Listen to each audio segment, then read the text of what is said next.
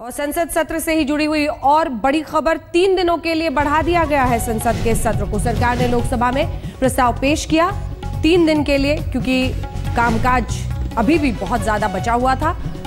तीन दिन के लिए सत्र को बढ़ा दिया गया है। सरकार ने पहले प्रस्ताव इसके लिए रखा, लंबित बिल को पास कराने के लिए सत्र बढ़ाया गया है।